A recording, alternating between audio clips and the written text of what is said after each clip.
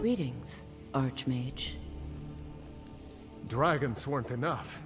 Now we've lost the sun, too? The tyranny of the sun is over. Skyrim is ours.